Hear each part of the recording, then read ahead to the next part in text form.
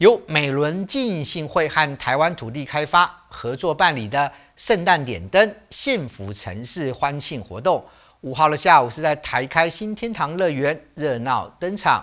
现场除了安排进信会的诗歌以及一连串的精彩表演外，获得了金氏世界纪录的溜滑梯也摇身一变，成为亚洲最特别的圣诞树。最后压轴登场的是艺人黄明志，更是将气氛带到了最高点，嗨翻了全场。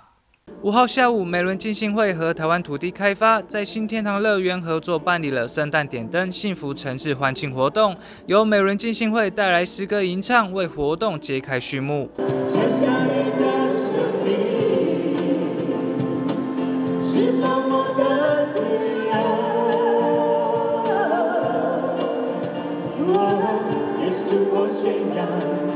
你所做的一切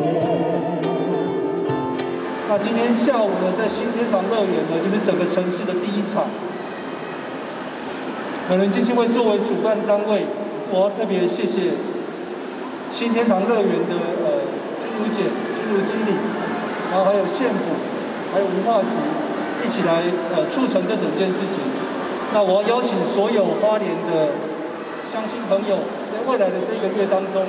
让我们一起享受在整个圣诞。温暖跟爱的氛围当中。可是今天呢，我们是我们的世界最长的溜滑梯变成了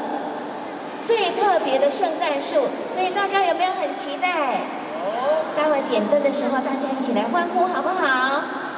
好，还有黄明志哦，也是我们今天的请到了一个非常特别的歌手，我们希望。带着在他的歌声当中，带我们一起来迎向未来的一年，也祝福大家幸福满满。圣诞点灯仪式在贵宾共同启动下正式点亮，这座获得金氏世界纪录的溜滑梯摇身一变，成为亚洲最特别的圣诞树。缤纷亮丽的模样让民众纷纷拿起手机合影，同时是为高中乐舞社及舞感社也带来精彩表演，让现场不只是充满着温馨氛围，更是青春洋溢、热力四射。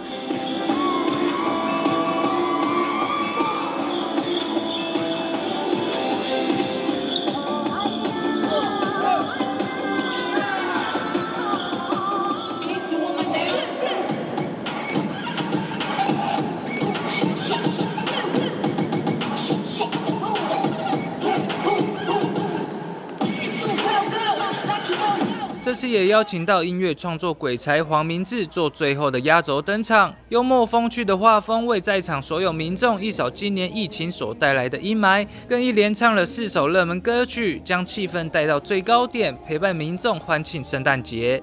记者徐立琴吉安乡报道。